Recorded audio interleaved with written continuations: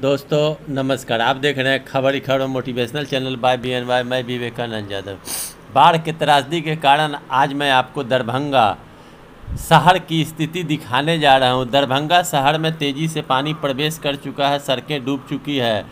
अस्पताल की हालत आप देख रहे हैं कि अस्पताल के अंदर पानी प्रवेश कर चुका है। यहाँ तक कि लोग मचान पर बैठे हुए हैं, स्लेब पर बैठे हुए हैं।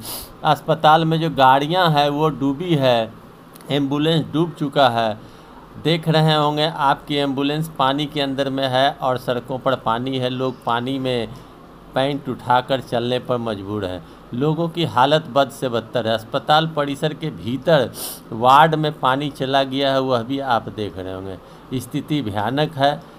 सरकार की कोई भी व्यवस्था नहीं है। लोग त्राहीमाम हैं और शहरों के सड़कों पर पानी होने के कारण आम लोगों के जनजीवन में काफ़ी बुरा असर पड़ा है।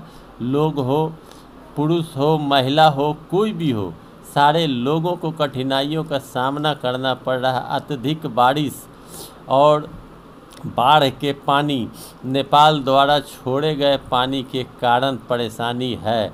सिविल सर्जन ने भी असमर्थता जताई है।